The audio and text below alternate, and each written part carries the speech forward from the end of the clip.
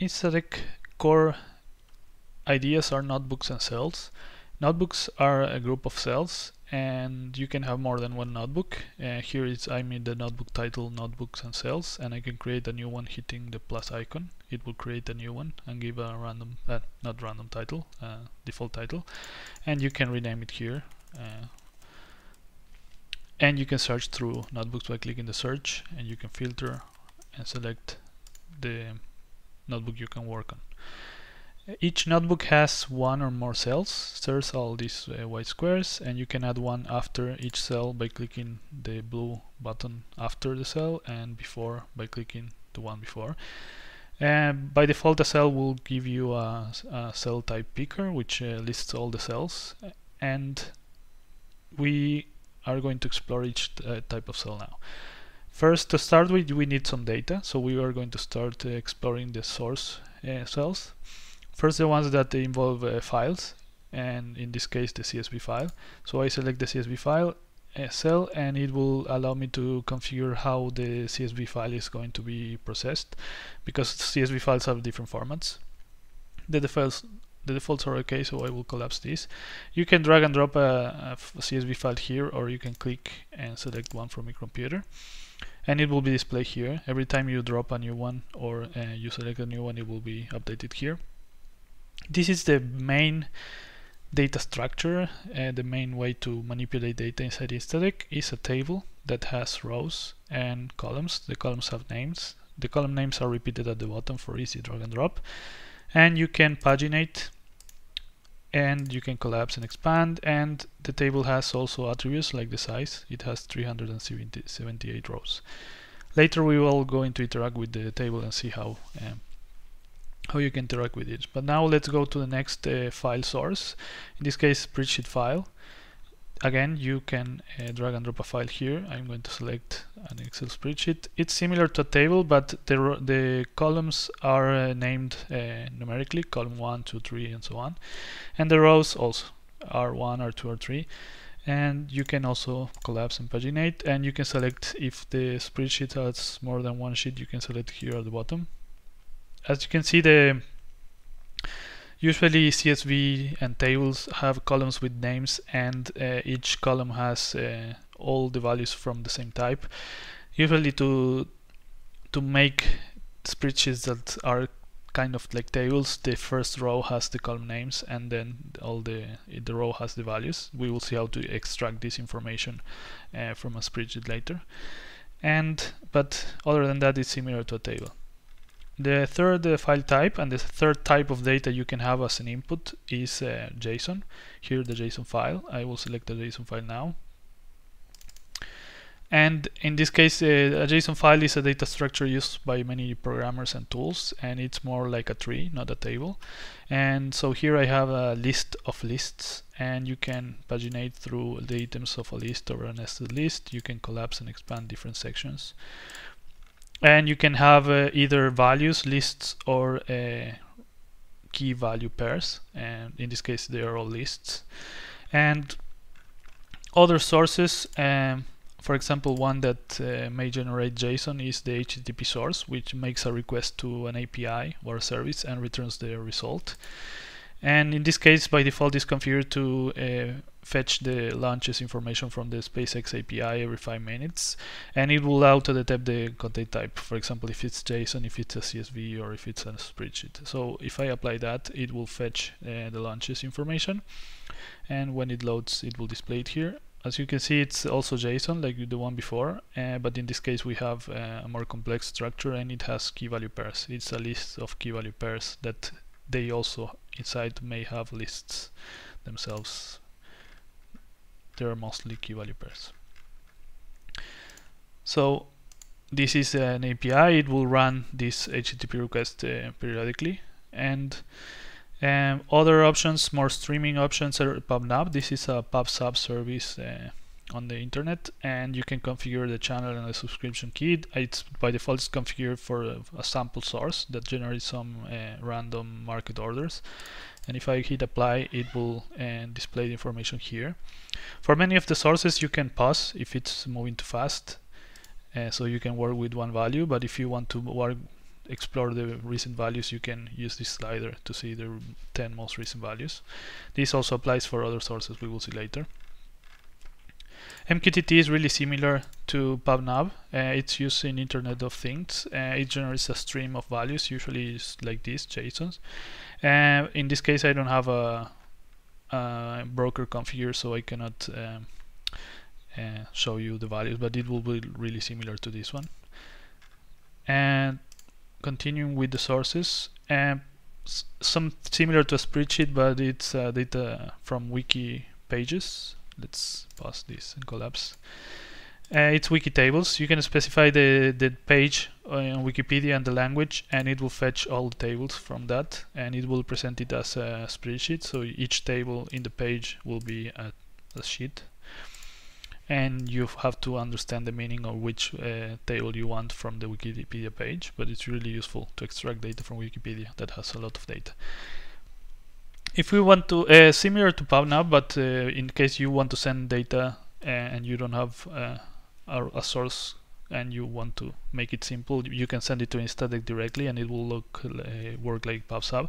You specify a channel and what's the format and it will listen and whenever you push some value to this channel it will appear here and a sample source when you want to play with Instadeq and try something uh, but you don't have any data to play with you can play with the clock which will you can select the interval at which it will tick. And for example every second it will generate a new uh, key value pair of all the pieces of, of, of the current time. So this one is really useful to, to play with the tool.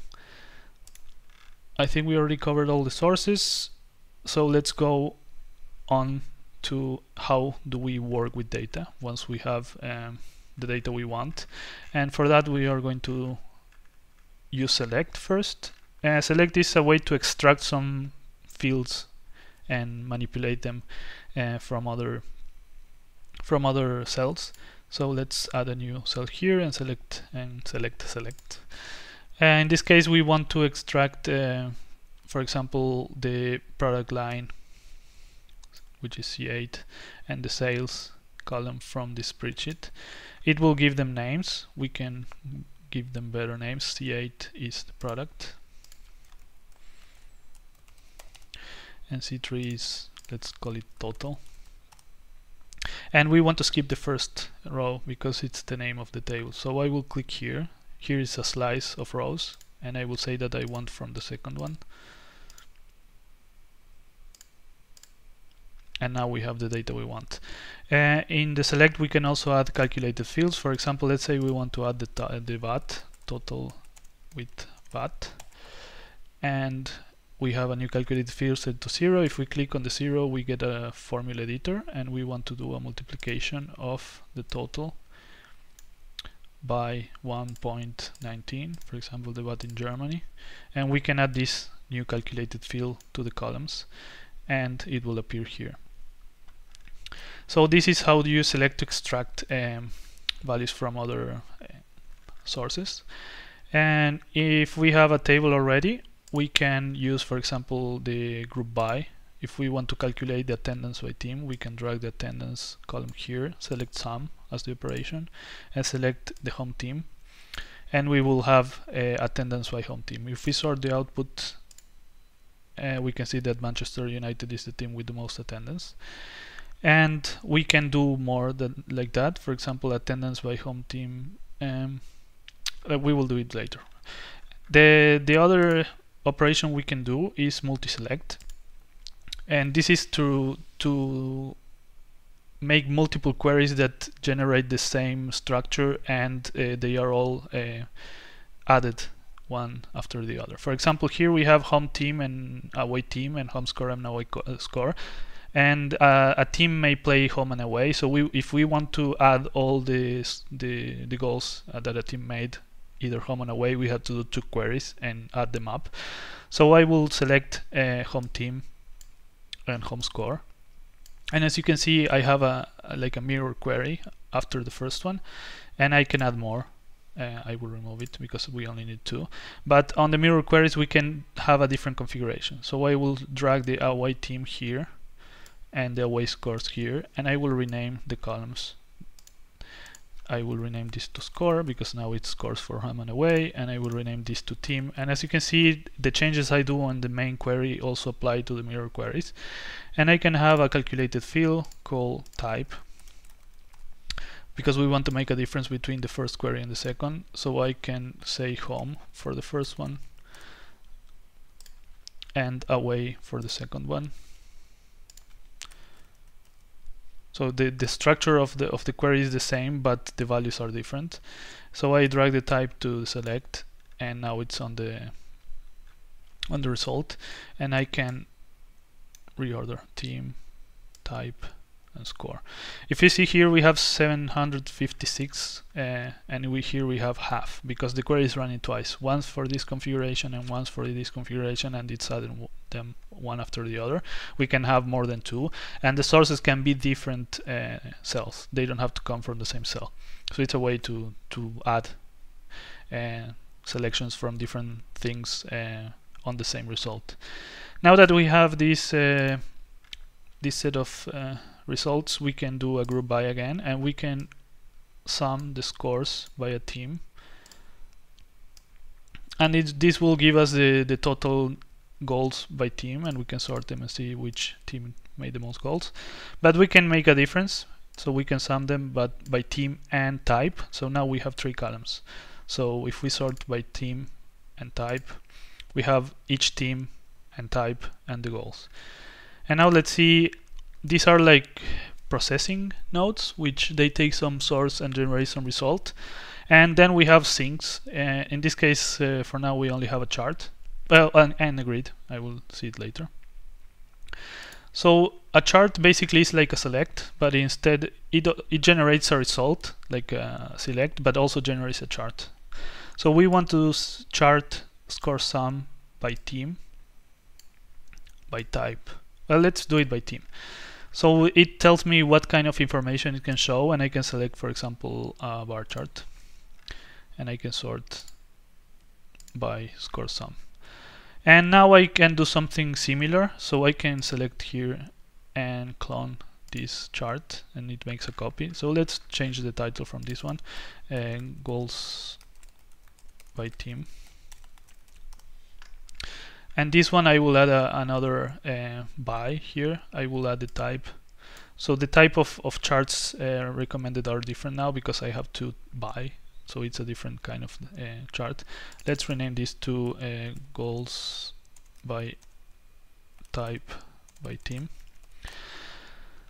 And I can select the stacked chart and I can go to settings and reverse this team and type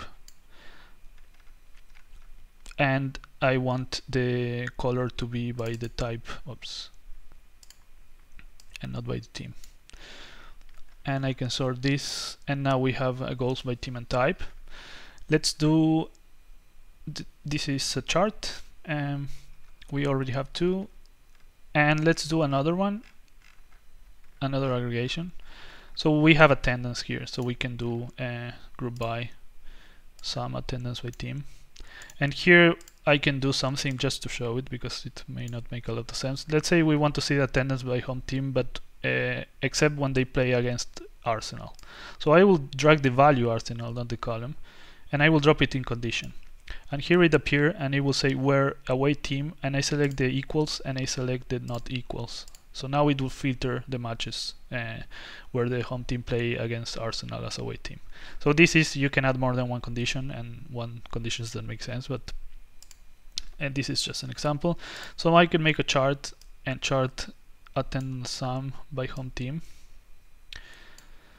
and select again a bar chart. It's getting boring, the charts. Uh, we will add more charts uh, in the near future but this is okay for now. So now let's go over let's open the basket. It's a way to collect things you can want to drop somewhere, but they are spread around, so you don't have to drag them too far away.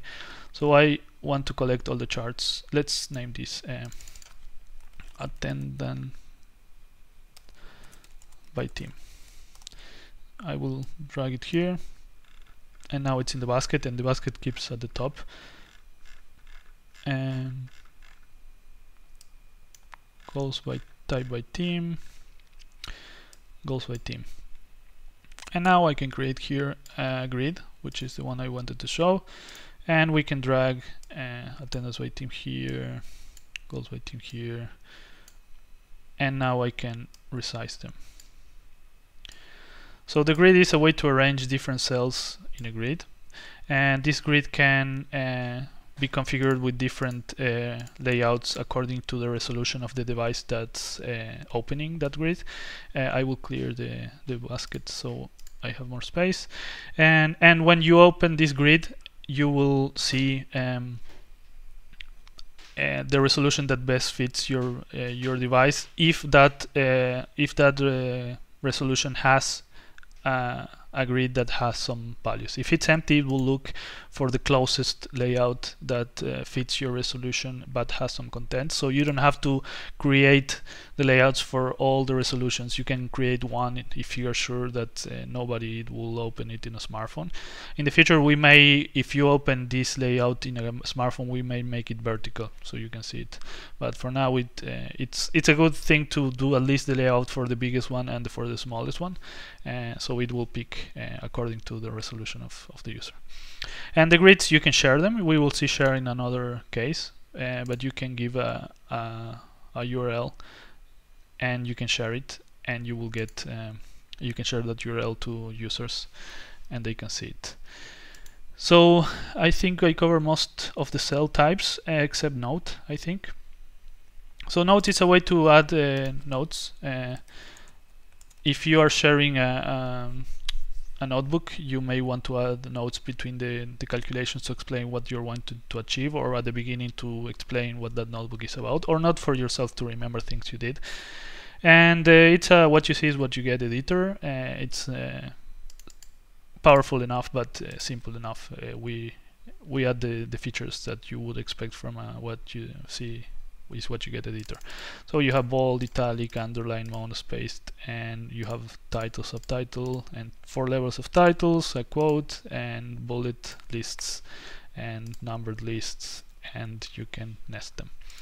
So you can add notes also to, you can add any type of cell to uh, to uh, a grid, uh, but they are also useful in notebooks. And also there are other types of, of uh, cells that are not that useful but we want to keep the consistency. So if you want to know more about Instadeq you have a spreadsheet with our information. And if you want to know about the open source licenses we use you also have a table with them. And you can even make charts with this. So this type is the link chart type. You can extract either the URL or the label and you can aggregate by URL label for example. And and we also just to cover them because uh, you may have seen it in the middle we have the templates or examples and they are notebooks predefined with examples for different features of Instadeq and you can pick one and follow it to understand more about them. We will see them in a different video. So this was notebooks and cells for Instadeq and you watch the other videos uh, covering sharing and uh, templates. Bye